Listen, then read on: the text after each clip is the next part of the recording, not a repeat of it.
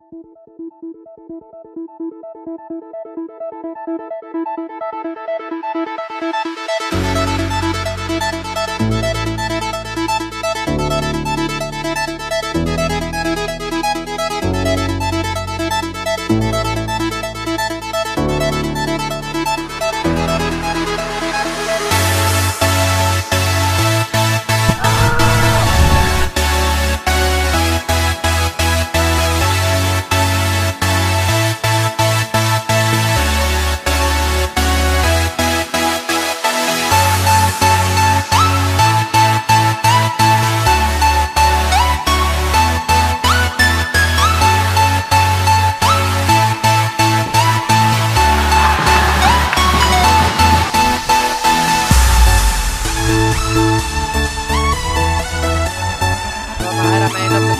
Er sending fyrir Sandra Maria með mark.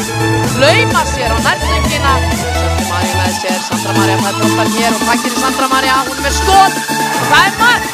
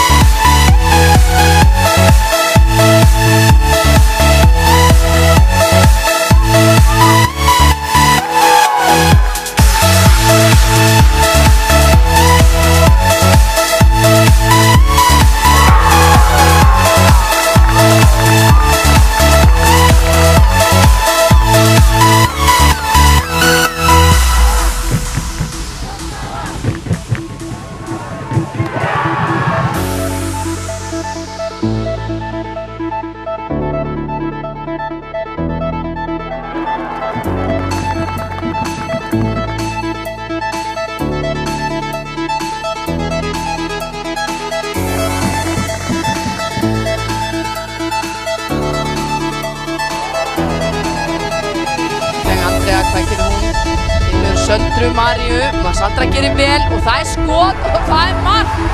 Það er refnum leið. Virkilega vel gert hjá þeim.